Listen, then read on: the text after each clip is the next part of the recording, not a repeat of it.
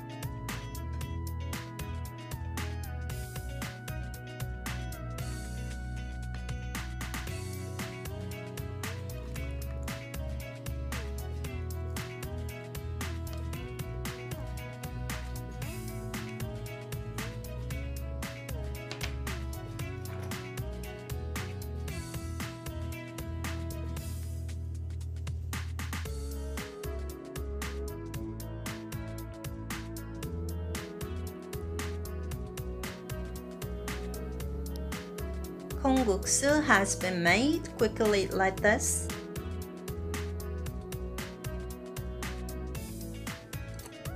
Now I will taste.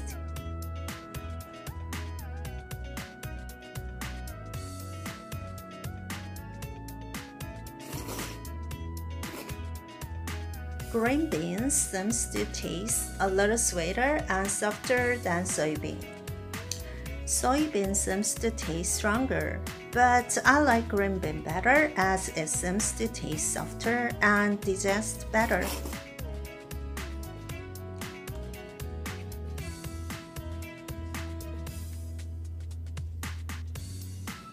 I can't stop eating chewy and savory noodles.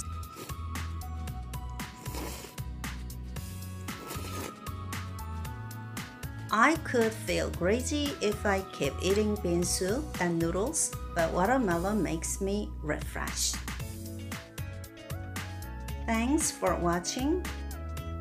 See you soon in another cooking video. Please subscribe, like, and share.